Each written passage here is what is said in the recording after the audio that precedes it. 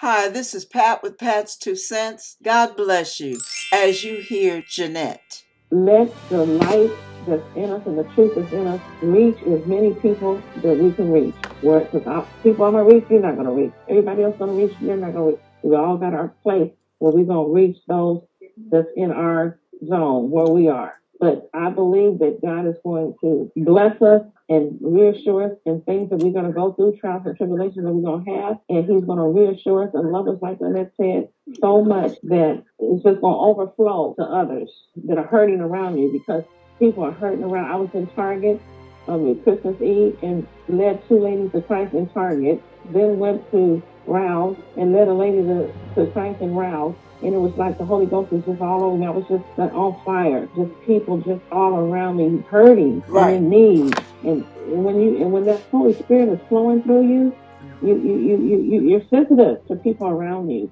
and that that boldness. That's why he said, "Don't leave the upper room." Remember in Acts, don't leave the upper room until the Holy Spirit has come on you. When that Holy Spirit gets in us, that's that boldness that we have. That Peter was talking about, the boldness to go out, and it just consumes you and and and, I, and more now because we're getting so close mm-hmm. to the return of Christ. It's overwhelming that urgency that I have. It's like an urgency to lead people to Christ. It's an urgency because things are happening so quickly, so quickly. People are checking out of here every day. Somebody is checking out that you know, or somebody you might know, or somebody's family, or something, and it's just an urgency. And like uh, Roshan was saying, casting up people that look that that, that, uh, that was powerful too. What she was saying about in the church, he took a video of the people, see the people's hearts. Where is our hearts as believers? Where is really our hearts? Our hearts are supposed to be for the people like Jesus when he was here. Because the things are winding down fast and we got to get as many in as we can while we have the opportunity and the chance. That's right. And he's going to take care of our own. Like Lynette said, he is going to reassure us every day and reassure he's going to show up. And I'm telling you that, oh, that was, that really ministered to me, that reassurance. That was just what I needed to hear. Mm-hmm. But I see him doing it already. So praise God for all, everybody, because God is working through every person with Pat Love's ministry. Uh, Pat, the people are really growing in the Lord, and God is really using everybody uh, that that's on this ministry with you. Amen. The Lord Amen. is moving through us. He's moving through us. The Holy Spirit. Yes. The Holy Ghost. Yes. I hear you, we can't do nothing without that Holy Ghost. We need that Holy Ghost. Because He right. gives us that boldness and, and we can hear mm-hmm. hear Him mm-hmm. speak and lead us every day when I get up. Lead me today. Lead me every day. Yes. Lead me today. Amen. What to say, what to do, which way to go, what, what, what am I supposed to do? Yep. Because I need direction. I need your guidance. And I tell you, He really Oh, just that reassurance every every step of the way.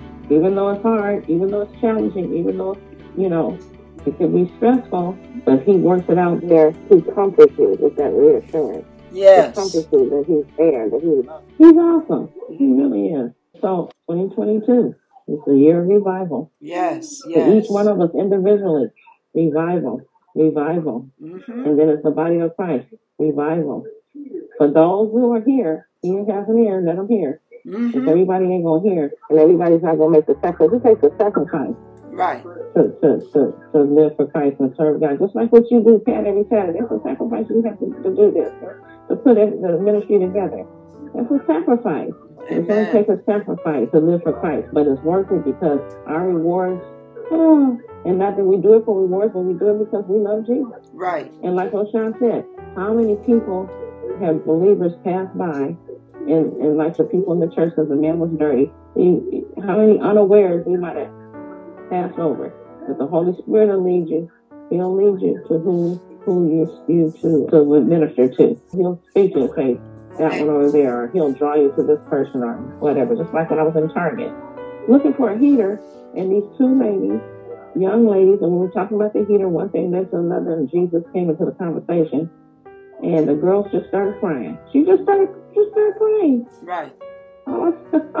That's the that conviction of the Holy Spirit. Yep.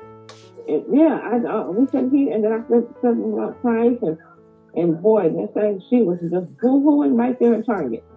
I said, oh no. I said, oh no, no. I'm, there's no way I'm going to leave these two people without ministering leading them to Christ. So Amen.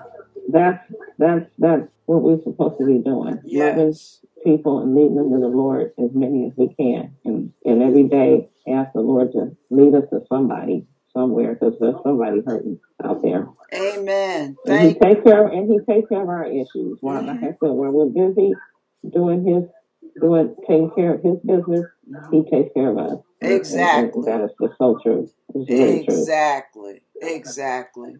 Thank So you. I just thank God for all of you, and uh, Yes. it's just a blessing. Everything that was said so far has been just straight from the Holy Spirit. hmm Amen.